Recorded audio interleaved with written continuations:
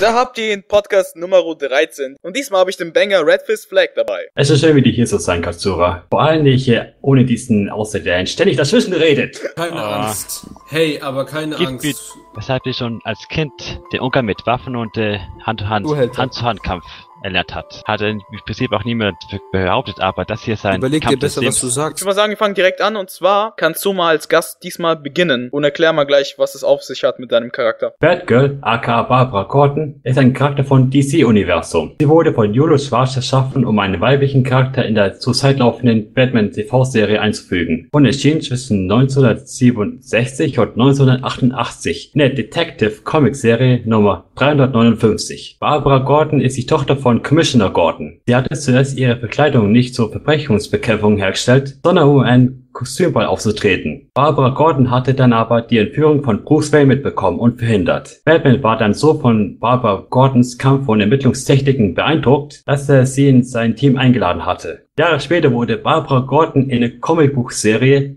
The Killing Joke vom den Joker in der Wirbelsäule geschossen, weshalb sie sich unterhalb der Hüfte nicht mehr bewegen konnte. Danach wurde Barbara Gordon zu Oracle, die Informationsbeschafferin der Bat-Familie. Aber seit der Neustart von The New 52 im Jahre 2011 wurde Barbara Gordon wieder Batgirl. Und als Konkurrenten haben wir noch jemanden aus der Bad Family. Und zwar nämlich Jason Todd, der dritte Robin. Seine Erfinder sind Gary Conway und später, also die Erfinder von seiner Rolle als Red Hood, sind Jude Winnick und Doug Mankey. Er gilt als aggressiver Sidekick und nimmt sich kein Blatt vor den Mund. Das ist auch der Grund, warum er bei vielen Fans nicht gerade beliebt war, aber dazu komme ich gleich. In der Batman-Storyline Death in the Family sucht er nach seiner richtigen Mutter, fand sie auch. Sie lieferte ihn leider an den Joker aus, der dann die beiden fesselte und in ein Haus platzierte mit einer Bombe. Und dann konnten halt die Leser entscheiden, ob die Bombe explodiert oder nicht. Und zu über 50% stimmten die Leute für seinen Tod, weswegen dann die Bombe hochging und er dann in Ausgabe 427 starb. Einige von euch kennen hoffentlich Superboy Prime, der in einigen DC-Events für richtig viel Ärger sorgte. Er reiste nämlich von einer Realität zur anderen, wodurch die Hauptrealität verändert wurde und Jason dann wieder lebendig wurde. Jason Todd wurde dann wiederbelebt und verletzt kämpfte er sich aus seinem Grab, wurde dann am Straßenrand aufgefunden und kam ins Krankenhaus. Von dort aus floh er aber und wurde dann von Talia Al Ghul gefunden. Durch den Jungbrunnen von Ra's al wurde er dann wieder geheilt und auch etwas jünger. Dann fand er heraus, dass Batman den Joker nur ins Gefängnis schickte und nicht ihn tötete, wodurch er total wütend auf Batman wurde. Und auf der Suche nach dem Joker reist er dabei um die Welt, ähnlich wie Batman. Lernte dabei einiges über Überleben, Wissenschaft, Nahkampf und währenddessen wurde der nächste Robin gekürt, Tim Drake. Genau wie Batman damals die Fledermaus für sein Kostümmotiv auswählte, weil er davor Angst hatte, so auch Jason Todd. Der wurde nämlich zum Red Hood und der Red Hood war davor nochmal eine andere Figur im DC-Universum. Und zwar nämlich ein Schurke. Zunächst war er auch nur ein Schurke, später dann ein Anti-Held. Und wer mehr über seine Schurkenzeit wissen will, der sollte auf jeden Fall Under the Red Hood lesen. Batgirl erschien in den Comicbuchserien Batman Eternal, Batman 66, in der Comicbuchserie Secret Origins Nummer 10 wurde Batgirls Hintergrundgeschichte erklärt. In der Comicbuchserie Birds of Prey Volume 3 war sie ein Hauptcharakter. Und in der Comicbuchserie Batman Superman und in der Comicbuchserie Catwoman und Nightwing hatte sie ein kurzes Cameo-Auftritt. Und wie wär's, Okay. wenn du einfach mal das Wichtigste noch dann erwähnst? Ähm, das ist das Wichtigste. Nein, nein, noch das, das Allerwichtigste. Ähm, das war alles. Sie hat ihre eigene Serie, die heißt Batgirl. Die hat schon mittlerweile 40 Ausgaben, die ist ongoing. Red Hood ist vertreten in allen Bat-Serien. Aber ganz besonders stark hat er mitgewirkt in Batman Eternal und Batman and Robin, als auch der Batman-Serie und Detective Comics. In Batman Superman, also der Crossover-Reihe, die gerade auch läuft, hat er zu Beginn eine größere Rolle gehabt, aber eben halt nur zu Beginn. So hat er auch mitgespielt in vielen Serien der anderen Mitgliedern der Bat-Family, als auch Catwoman und Nightwing. Außerdem hat er noch seine eigene Serie, die wahrscheinlich jetzt die bekannteste von ihnen ist, und zwar nämlich Red Hood and the Outlaws. Die Outlaws sind für mich persönlich eine Mischung aus Sidekicks und Anti-Helden. Und gleichzeitig auch irgendwie eine Mischung aus Teen Titans und Suicide Squad. So, Red Fist Black, was hast du denn für andere Medien? Und da hätten wir zuerst die Batman-Serie von den 60ern, wo sie zuerst in einer Anwaltskanzlei auftrat. Dann erhalten wir Batman, der Animated Series, wo sie ab der zweiten Staffel Batgirl wird. Dann Batman and Mr. Freeze, The New Batman Adventures. Dann Gotham Girls, eine Miniserie, wo sie auch mitspielte. Und Batman Mystery of the Batwoman. Danach hatten wir Justice League und Unlimited, wo sie einige Cameos hatte. Batman Beyond und Return of the Joker, wo sie jetzt die neue Commissioner ist. Dann die Serie The Batman, was übrigens der schlechteste Name aller Zeiten ist, wo sie aber allerdings nicht Batgirl, sondern Batwoman heißt. Dann kam sie in Batman The Brave and the Bold in etwa zwei Episoden auf. Danach in Batman Honor the Red Hood, wo Red Hood äh, die Verkrüppelung von Batgirl erwähnt hat. Dann bei Young Justice, danach bei Super Best Friends, was auch eine Miniserie wie Gotham Girls ist, um zum Schluss zu bewährte Batman, wo Barbara erschienen ist, aber es noch nicht entschieden ist, ob sie Batgirl wird oder nicht. Danach die Serie Birds of Prey, wo sie zuerst als Orakel erschien, aber durch einen bestimmten Apparat auch als Batgirl auftreten kann. Und zum Schluss hätten wir Batman Begins und The Dark Knight, wo sie jeglich nur erwähnt wird als Gordons Tochter. Und zum Schluss hätten wir die ganzen Videospiele. Jetzt hätten wir da Batman Vengeance. Dort gibt sie Batman Informationen von außerhalb. Danach kommt Batman Rise of Sin Tzu, wo sie ein spielbarer Charakter ist. Danach kommt Arkham Asylum und City, wo sie als Oracle Batman aushilft. Dann in dem Spiel Young Justice Legacy, wo sie ein spielbarer Charakter ist. Danach kam DC Universe Online, wo sie als Oracle als Tutorial-Einheit gilt. Und zum Schluss kommt Injustice, God Among Us, wo sie ein DLC-Charakter ist. Dann kommen wir nämlich zum Rotkäppchen meinerseits und das wären unter anderem, wie vorher erwähnt, Batman Under the Red Hood, das war eine Verfilmung zu der Comicreihe. Dann The New Batman Adventures, was ein Cartoon war. Teen Titans, Birds of Prey, Teen Titans Go, also in den ganzen Cartoons wurde da, oder Serien wurde der erwähnt. Brave and the Bold und Young Justice hat er sogar einen Cameo-Auftritt gehabt. Im Spiel Arkham City war er auch noch dabei, genau wie in Injustice, wie jeder andere DC-Charakter. Und zum Schluss nochmal zwei Sachen, die indirekt mit ihm was zu tun haben. Und zwar einerseits gab es ja die Dark Knight Trilogie. Und da gab es ja diesen Polizisten gespielt von Joseph Levitt Gordon. Und er hatte als zweiten Vornamen Robin. Leute spekulieren, dass wenn es weitergehen würde, dass er dann zum Robin werden würde. Die Sache sieht, dass viele Leute nicht wissen, ob er dann zu Nightwing wird, aka Dick Grayson oder Red Hood, aka Jason Todd. Allerdings weisen viele Fans und Zuschauer allgemein das Verhalten von Jason zu, weil der ja so aggressiv ist, neugierig und arrogant, was zu Dick Grayson gar nicht passt. Deswegen wäre das halt in Theorie, ob er halt Jason Todd wäre. Und das andere ist, da kann ich nur zustimmen, viele Fans wünschen sich als perfekte ideale Rolle für Jason Todd, wenn es eine Verfilmung geben würde oder wo irgendwas, wo er mitspielt, dass Jensen Ackles den spielen soll, den ihr unter anderem als Dean Winchester aus Supernatural kennt. Also ich finde schon allein das Auftreten, die Stimme und allgemein der Charakter, wobei er viel Ähnlichkeiten hat mit Dean Winchester, das könnte gut hinbekommen. Also ich glaube, das könnte gut klappen. Jensen Ackles wäre für mich so die perfekte Rolle für Jason Todd. So, wer hat was gegen Batgirl? Sag mal an. Also da hätten wir auf jeden Fall der Joker, weil ihr wisst schon, dann James Gordon Jr., ihr Bruder, zufälligerweise Jason Todd. Also, ich komme mal zu den Schurken meinerseits. Und zwar genau wie bei Batgirl ist es so, dass Red Hood sich einfach mit jedem anlegt, der auch ein Feind darstellt für Batman und für die Bat-Family, aber das ist klar. Aber am Anfang war das Batman direkt selbst, weil er selbst ja ein Schurke war. Genauso Tim Drake. Er hat, als er Tim Drake das erstmal gesehen hat, sich mit ihm zerstritten und wollte sich mit ihm einfach prügeln und ihn einfach sogar töten, weil einfach so einen neuen Robin einzustellen als Ersatz für ihn, da war er halt so ein bisschen angepisst, weißt du? Und später kam dann noch dazu, als besonderen Schurken sowieso der Joker, weil er auch Jason auf den Gewissen hat. In der Zeit, als der, als der Red Hood in der City war und einfach alle Drogengeschäfte an sich zog, beziehungsweise die Macht über Gotham haben wollte, zankt er sich irgendwie dabei mit Mr. Freeze, genauso in Black Mask, weil Black Mask ähnlich wie der Kingpin im Marvel-Universum ja der große Gangsterboss ist. Und wenn auf einmal irgendwie so ein Anti-Held kommt, der dann irgendwie versucht, alle Geschäfte an sich zu reißen, dann ist man natürlich voll angepisst und das ist verständlich von Black Mask. Und zuletzt Green Arrow, auch aus der Zeit, wo der noch eher kein Anti-Held war, sondern ist ein Schurke, kam Green Arrow ihn die ganze Zeit in die Quere und dann haben die sich halt geprügelt oder gestritten, was auch immer. Genau wie beim letzten Podcast haben wir auch wieder das Problem, dass wir nicht wirklich spezielle Schwächen haben. Klar kann man sagen, Jason Todd wird sehr schnell wütend und sowas, aber das hat er sich ja abtrainiert. Und ansonsten finde ich, hat Batgirl jetzt auch nicht so ganz krasse Schwächen. Außerdem sind das normale Menschen, man kann jetzt sagen, die können durch Kugeln, Schwerter und sowas verletzt werden, aber das lasse ich jetzt mal weg. Du kannst als Gast anfangen mit den Stärken. Als erste Stärke kennen wir die Intelligenz. Sie wurde immer sehr talentiert gezeigt. Als Oracle hat sie sich ein großes Computerwissen eingeeignet. Sie hat außerdem eine große Datenbank von verschiedenen Helden und Schurken, welche zur Analyse dienen. Sie beherrscht auch noch unbewaffnete Kampftechniken. Sowohl als Batgirl als auch als Oracle kann sie sich verteidigen. Auch im Rollstuhl. Ja, auch im Rollstuhl. Nice. Sie beherrscht Boxing, Kung Fu, Stockkampf und vieles mehr. Und sie ist auch noch sehr sensibel kann sich in andere Personen hineinversetzen. Und was nützt dir das bitte im Kampf? Und sie kann die, die Gefühle von diesen Schurken mehr verstehen und kann sie vielleicht... Dazu zu bringen, dass man lieber redet und nicht kämpft, oder was? Ja, ohne Gewalt, ohne Gewalt Probleme lösen, gell? Kann er zum Beispiel kurz verwirren und dann diesen Moment. Wie wird die bitte verwirren mit Genjutsu oder was? Ja,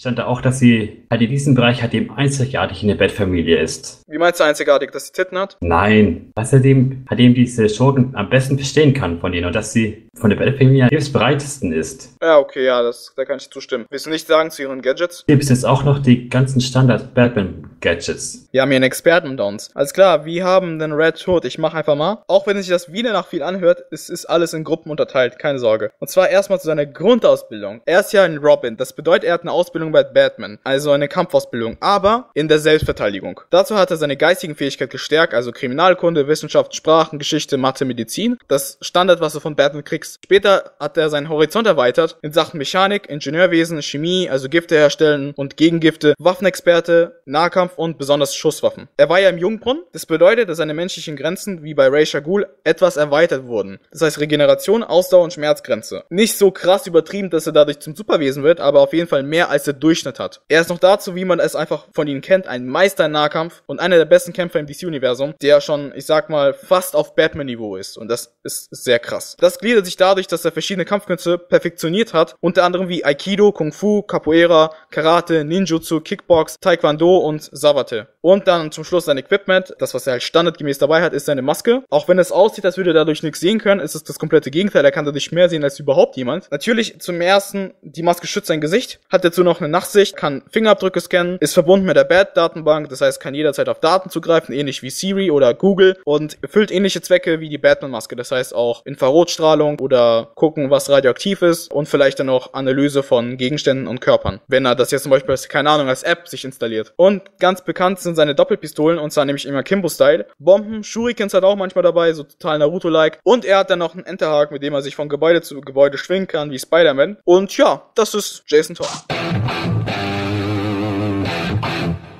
Diesmal beginnen wir mit euren Kommentaren. Und zwar nämlich meinen Kollegen der in Außenseite 61. Und zwar, Jason ist ein eiskalter Hund und Barbara eine hilfsbereite Schachzüglerin. Ich denke, Gleichstand, wenn sie sich beide nicht töten würden. Anders weiß Jason. Ja, da muss ich recht geben. Jason ist an sich skrupellos aufs übelste Korn und auch wenn, wie du sagst, Batgirl total hilfsbereit ist und weiß, wie man sich in andere reindenkt, so trotzdem ist Jason total gnadenlos. Und es ist durchaus wahrscheinlicher, dass Jason mit Töten anfangen würde als äh, Barbara. Aber anderenfalls weiß ich nicht, was ich noch dazu sagen kann. Würdest du den Kommentar recht geben? Das stimme ich schon so. Okay, das nehme ich jetzt mal als hin. Einer meiner Lieblinge, Finn, hat mir geschrieben, weil Batgirl und Red Hood die gleiche Kampftechnik und Ausrüstung haben, hat keiner genaue Vorteile. Aber Red Hood ist ein Anti-Held und deshalb der härteste Badass. Also Red Hood. Das unterstreicht eigentlich nochmal den Kommentar von den Außenseiter 61, weil es läuft wieder aus selbe hinaus. Er ist gnadenlos, sie nicht und bla bla. Aber hier sagt er nur aus, dass Red Hood ein Vorteil hat, weil er ein Anti-Held ist. Das ist so ein etwas anderes. Das wäre so, als ob... Das ist ein Vorteil, weil Batgirl ist ja wirklich dieser Standardheld, dass sie Acht gibt, dass sie aufpasst, dass nicht Bürger verletzt werden. Anti-Helden tun das normal, die nehmen sich kein Blatt vor den Mund, das ist es halt. Aber in diesem Fall ist das hier ein Kampf um Leben und Tod. Das heißt, selbst solche Leute, die ihn normalerweise nicht töten würden, müssen dann eventuell töten. Richtig? Ja, das heißt, der vorherige Kommentar würde dann das nicht wirklich bestätigen. Marvin, auch wenn ich deine Rechtschreibung nicht ganz verstanden habe, habe ich doch trotzdem verstanden, was du aber sagen wolltest. Ich hoffe, das ist richtig. Und zwar, so wie ich gesehen habe, hat Barbara ein großes Wissen über Computer und eine fast so gute Ausbildung wie Batman. Ja, sie war bei Batman der Ausbildung, was denn sonst wie der andere aus der Bat Family. Als auch Red Hood. Ich würde sagen, beide gewinnen, aber Batgirl würde die Oberhand behalten. Wenn beide aber gewinnen würde,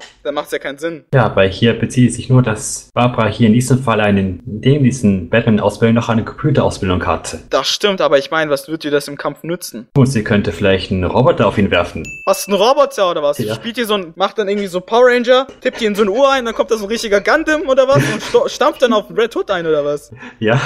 Aber auf jeden Fall, da muss ich dir zugeben, die hat ein Computerwissen, aber ich weiß halt nicht, was es jetzt nutzen würde, deswegen würde ich das nicht als Punkt zählen. Okay. Verstehst du? Es war ein Witz. Gaming Master, du sagst also, gutes Video. Das war jetzt auf mein letztes Video bezogen, aber ich mache immer gute Videos.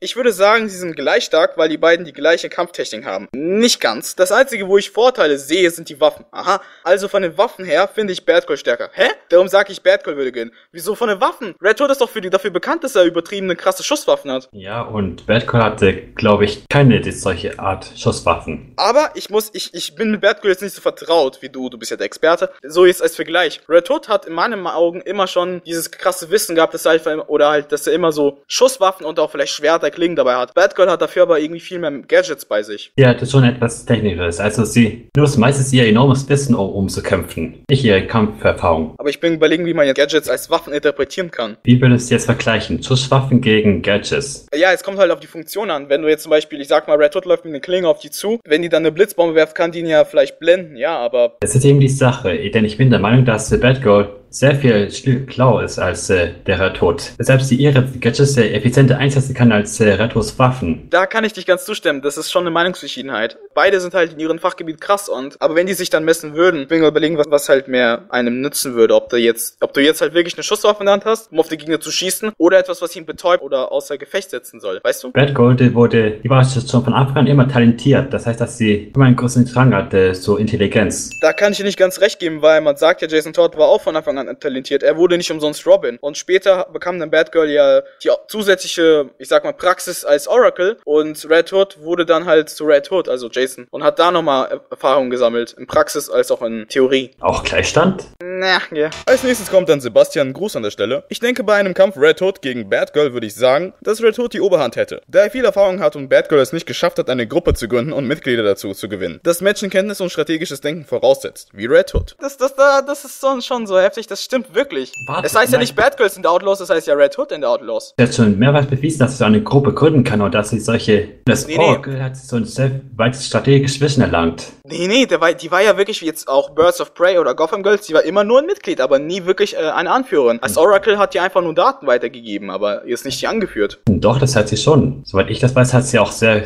große strategische Wissen erlangt. Da muss ich ihr wirklich widersprechen. Der nächste Kommentar wird dich, denke ich mal, vernichten. Und zwar, hm, Red Hood gegen Batgirl. Klingt nach einem einfachen Kampf für Jason, da Barbara oft eher mittelmäßig im Nahkampf ist. Während Jason mit seiner temperamentvollen Art und seinem leichten Hang zu Gewalt in einem Kampf keine Kompromisse macht. Aber wenn Barbara Zeit hätte, um sich vorzubereiten, könnte sie durch ihre höhere Intelligenz Red Hood leicht austricksen und zum Beispiel in einem Hinterhalt führen. Aber ohne einen solchen Hinterhalt hat sie, wie schon gesagt, keinen Hauch einer Chance. Uh. Die Regel des Podcasts besagt ja, die treffen sich spontan und wissen nicht vom anderen. Also Batgirl trifft auf einen Moment auf den nächsten Red Hood, muss gegen ihn kämpfen. Das heißt, sie konnte sich nicht vorbereiten. Und dadurch, wenn es jetzt zum Nahkampf kommt, ist die richtig krass am Arsch. Und da möchte ich erstmal zuerst mal eins anmerken, dass selbst das Oracle, als wo sie noch im Rollstuhl war, konnte sie sich noch von einem ehemaligen FBI-Agenten wehren. Ja, das würde ich sagen, läuft bei dir. Ja, und äh, außerdem hat sie als Oracle sehr viele Schurken und Helden analysiert. Und dabei hat sie auch bestimmt auch Batman an analysiert. Oder ihn, als er noch Robin war. Aber trotzdem sind es nur seine alten Daten, damals als er Robin war. Er hat ja übertrieben viel dazugelernt, als er zum Red Hood wurde. Ja, aber er kann immer noch zum Beispiel die Daten von Batman nehmen. Da. Aber Red Hood ist nicht gleich Batman, weißt du? Batman ist halt nicht so übertrieben brutal. Man sagt ja, Batman ist einfach durchdachter und dadurch halt stärker, aber Red Hood, also Acker Jason Todd, ist halt brutaler. Also ich würde sagen,